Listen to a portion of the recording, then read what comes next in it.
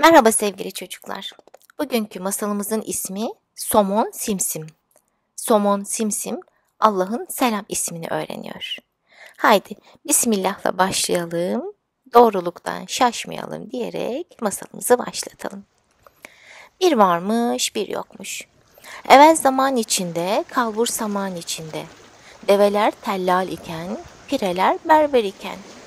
Ben annemin beşiğini tıngır mıngır sallar iken Simsim adında bir somon balığı vardı.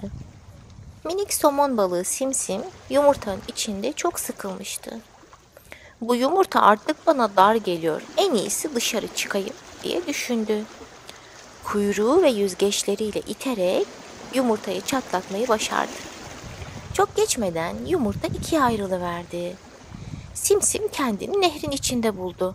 Etrafında kendisi gibi binlerce yavru balık vardı. Yuppi, meğer benim ne çok kardeşim varmış diyerek sevindi.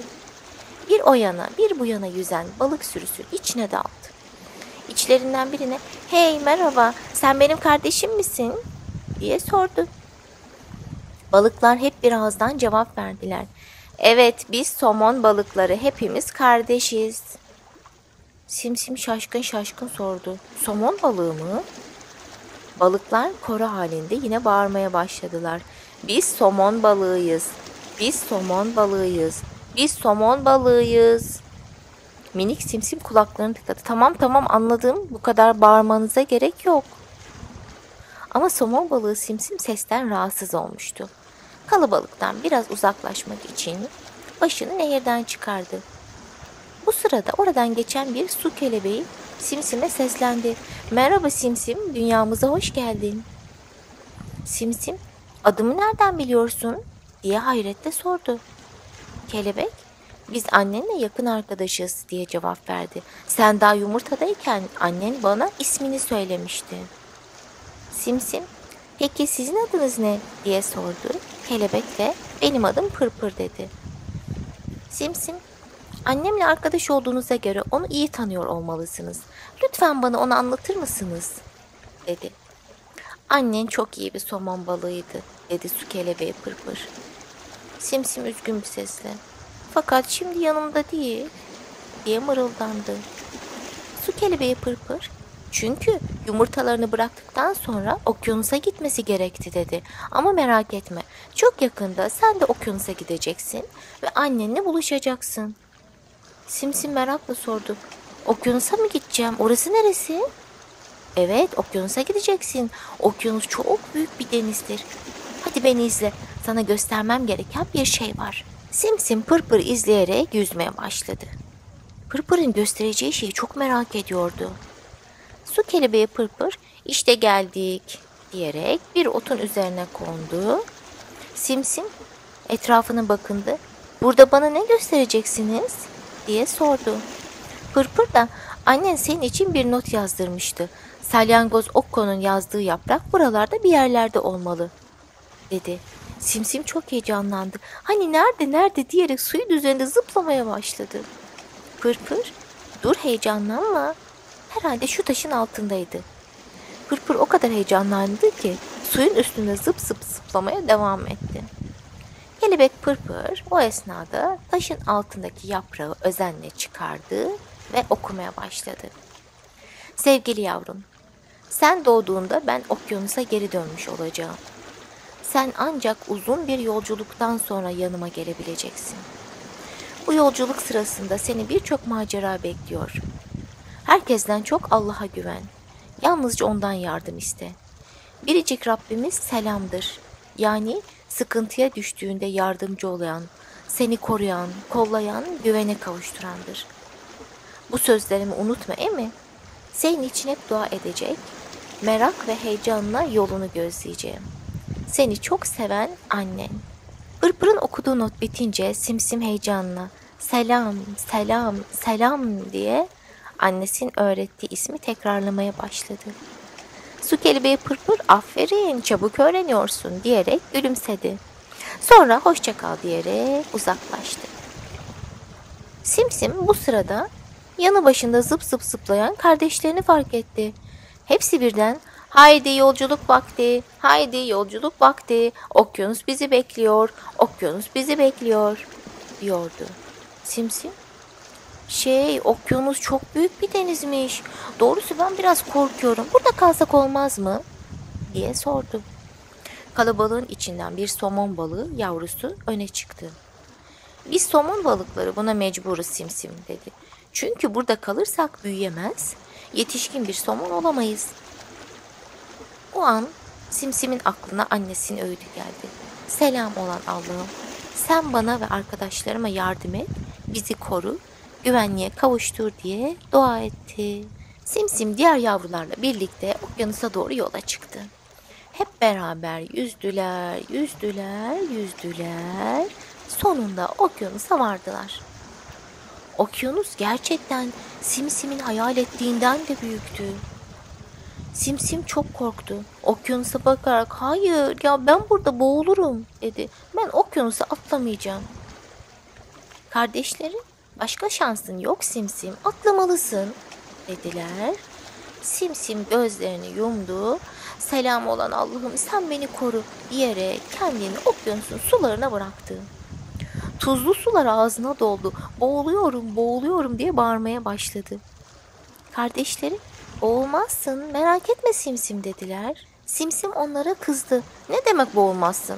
Biz somonlar tatlı su balığı değil miyiz? Tuzlu suda nasıl yaşayabiliriz? Grup lideri olan yavru somon, biz somonlar tatlı ve tuzlu sularda yaşayabilecek yapıda yaratılmışız diyerek açıkladı. Oh Simsim bunu duyunca rahatladı. Yavru somonlar yuppi diye bağırarak hep birlikte okyanusta ilerlemeye başladılar. Çok geçmeden anneleri onları karşıladı. Yavru somonlarla anneleri sevgiyle kucaklaştılar. Simsimle annesi de birbirlerine kavuşmanın sevincini yaşıyordu. Somonlar okyanusta uzun zaman çok güzel vakit geçirdiler. Yavru somonlar büyüdü, yetişkin birer somon balığı oldular. Bir gün Simsim'in annesi Simsim'e artık dönüş vakti geldi yavrum dedi. Dönüş vakti mi? diye sordu Simsim. Evet dedi annesi. Doğduğu nehre dönüp yeni yumurtalar bırakmalıyız. Yoksa somon balığı nesli tükenir. Simsim telaşla ama anne biz oradan ayrılalı çok oldu. Yolu nasıl hatırlayacağız? diye sordu. Annesi Allah bize doğru yolu gösterir sen merak etme dedi. Somon balıkları böylelikle hep birlikte nehre doğru yola çıktılar. Uzun bir yolculuktan sonra nehrin okyanusa döküldüğü yere geldiler. Nehir suları gürül gürül akarak okyanusa karışıyordu. Aslında somonlar için yolculuğun en zor kısmı şimdi başlıyordu. Çünkü üstlerine doğru hızla akan sulardan geçip dağları tepeleri aşıp yumurtalarını bırakacakları sakin nehir yatağına varmaları gerekiyordu. Simsim akıntıya karşı yüzüyor yüzüyor fakat bir türlü ilerleyemiyorum zannediyordu. Arkadaşlar galiba ben başaramayacağım dedi. Diğer somon balıkları ve annesi elbette başaracaksın dedi. Sen bir somon balığısın. Özel yeteneklerle yaratılmışsın. Şimdi zıplamayı dene. Simsim onların sözünü dinledi. Zıplaya zıplaya nehirde ilerlemeye başladı. Çok yorulduğu zamanlarda yüzgeçleriyle kayaları tutunuyordu. Selam, selam, selam diye tekrarlıyordu.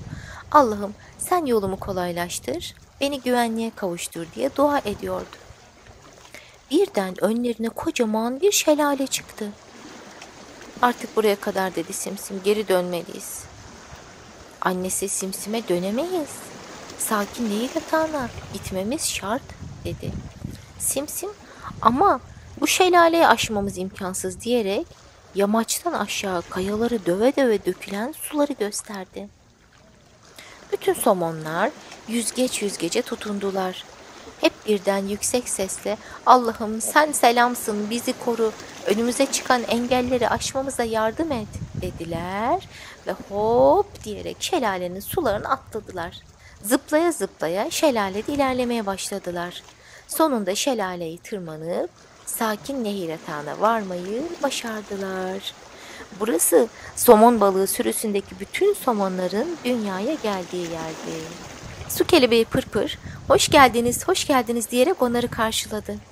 Somon balıkları bu zorlu yolculuğu sağ salim tamamlamış olmanın sevincini yaşıyordu. Bir süre oyunlar oynayıp eğlendiler. Sonra her biri yumurtalarını bırakmak için kendine bir yer seçti. Simsim de artık yetişkin bir somon balığıydı. O da bir kayanın dibine bir sürü yumurta bıraktı. Onun da yüzlerce minik yavrusu olacaktı. Simsim kendilerine Selam ismiyle yardımcı olan, tüm bu yolculuklarında, hayatlarında onları koruyup kollayan ve güvenliğe kavuşturan Allah'a şükrettiler. Ve dilinden şu dualar döküldü. Arkadaşlar ne yapalım? Hadi gelin biz de Simsim'in duasına katılalım.